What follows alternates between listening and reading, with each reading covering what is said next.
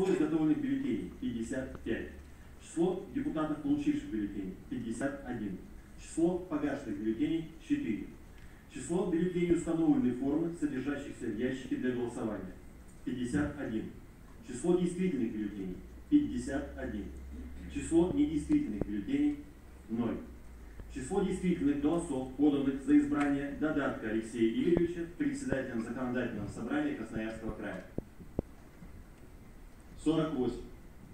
Число действительных голосов, поданных против избрания Додатка Алексея Игоревича председателем Законодательного собрания Красноярского края – 3. Число голосов, поданных за избрание Додатка Алексея Игоревича председателем Законодательного собрания Красноярского края – 48, что составляет большинство от числа избранных депутатов Законодательного собрания Красноярского края. Уважаемые коллеги, есть ли вопросы к председателю счетной комиссии? Вопросов нет. W.